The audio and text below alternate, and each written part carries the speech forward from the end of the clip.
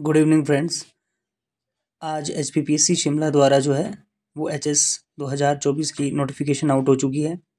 और इसकी जो लास्ट डेट रखी गई है, वो रखी है सेकेंड मई दो हज़ार चौबीस।